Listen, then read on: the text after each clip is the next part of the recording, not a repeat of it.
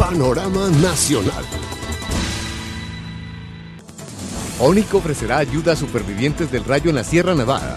En la organización indígena están preocupados porque tienen constancia de que la mayoría de fallecidos eran hombres, lo que deja a sus familias desamparadas y sin sustento.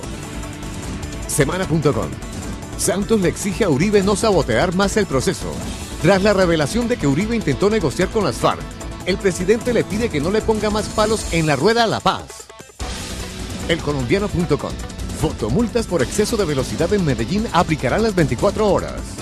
A partir de la noche de este lunes iniciará el proceso pedagógico y desde el 14 de octubre sancionatorio a través de la fotodetección por exceso de velocidad en las vías de Medellín. Vanguardia.com. Asesinan a tres hombres en extrañas circunstancias en Santander. Una de las víctimas es un policía. Dos homicidios ocurrieron en el municipio del Socorro y uno más en San Vicente de Chucurí. Elpaís.com. Dos personas muertas tras ataque sicarial en el barrio San Fernando.